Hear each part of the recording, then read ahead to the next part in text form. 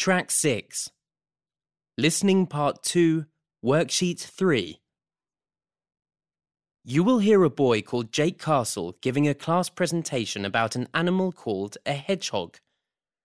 For questions 1 to 10, complete the sentences with a word or short phrase. You now have 45 seconds to look at the questions.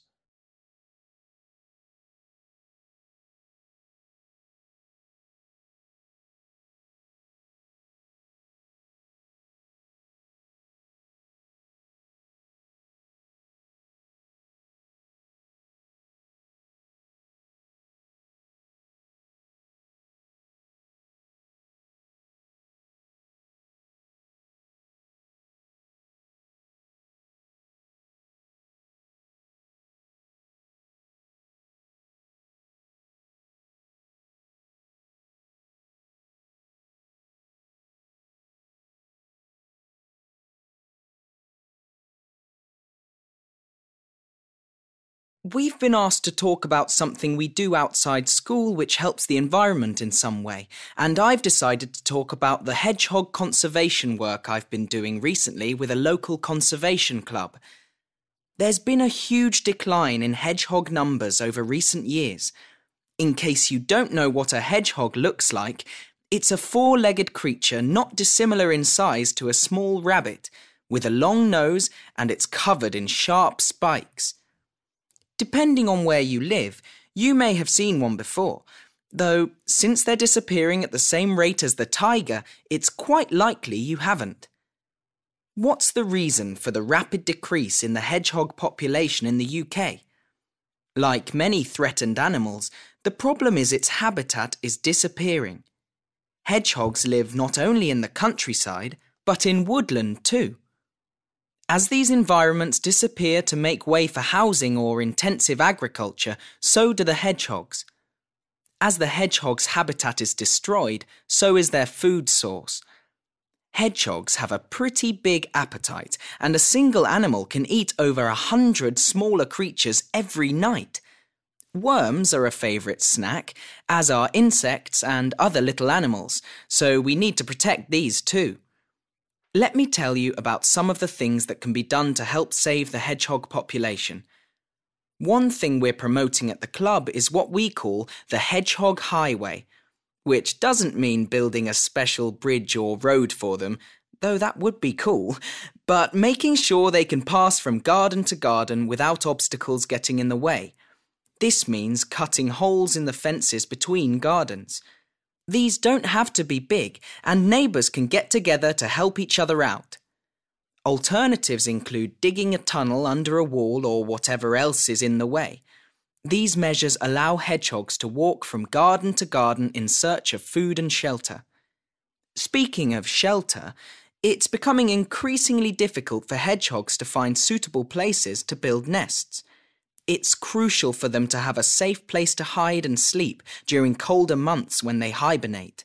So, we're encouraging people to think twice before you clear away leaves and instead pile them up with branches in quiet corners of the garden to create the perfect cozy hedgehog home.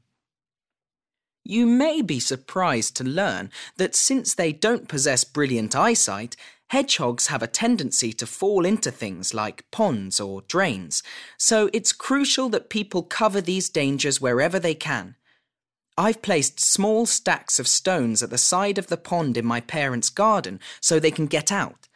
Their climbing skills are surprisingly strong, I discovered.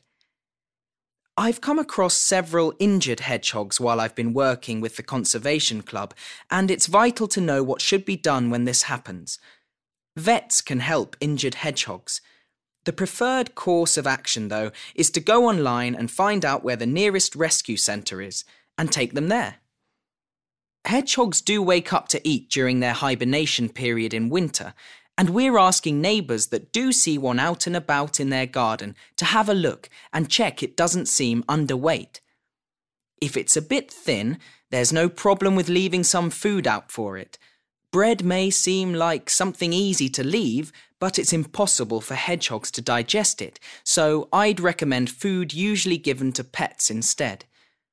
I hope some of you will go out and start looking after hedgehogs.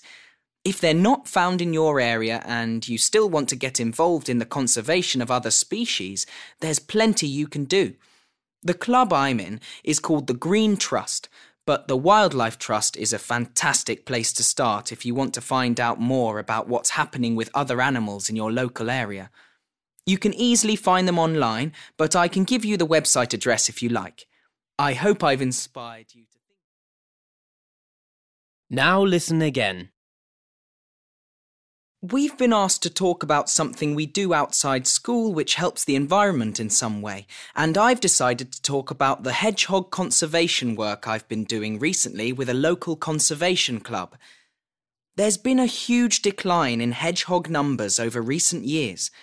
In case you don't know what a hedgehog looks like, it's a four legged creature not dissimilar in size to a small rabbit, with a long nose and it's covered in sharp spikes. Depending on where you live, you may have seen one before, though since they're disappearing at the same rate as the tiger, it's quite likely you haven't.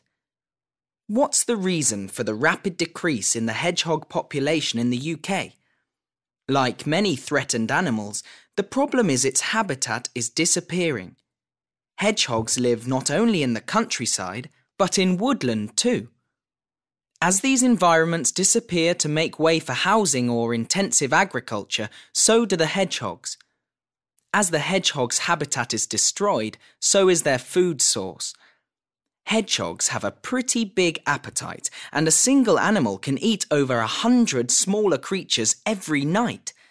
Worms are a favourite snack, as are insects and other little animals, so we need to protect these too. Let me tell you about some of the things that can be done to help save the hedgehog population.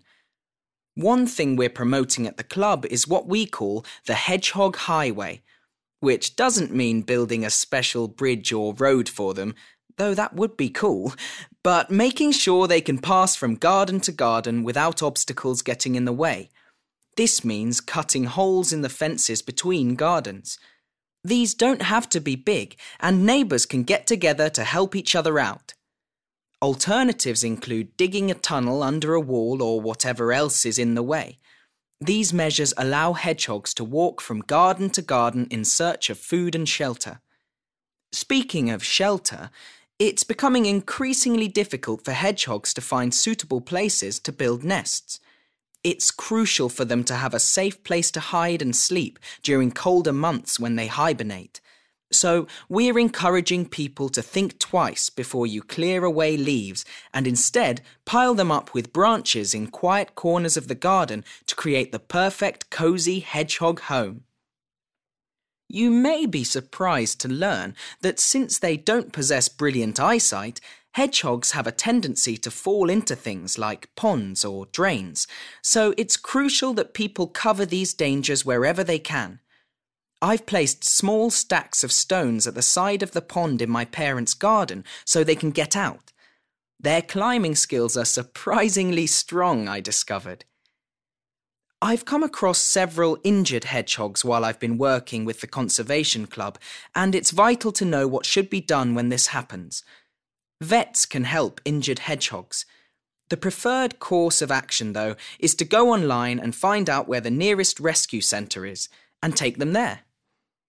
Hedgehogs do wake up to eat during their hibernation period in winter, and we're asking neighbours that do see one out and about in their garden to have a look and check it doesn't seem underweight. If it's a bit thin, there's no problem with leaving some food out for it, Bread may seem like something easy to leave, but it's impossible for hedgehogs to digest it, so I'd recommend food usually given to pets instead. I hope some of you will go out and start looking after hedgehogs. If they're not found in your area and you still want to get involved in the conservation of other species, there's plenty you can do. The club I'm in is called the Green Trust, but the Wildlife Trust is a fantastic place to start if you want to find out more about what's happening with other animals in your local area. You can easily find them online, but I can give you the website address if you like. I hope I've inspired you to.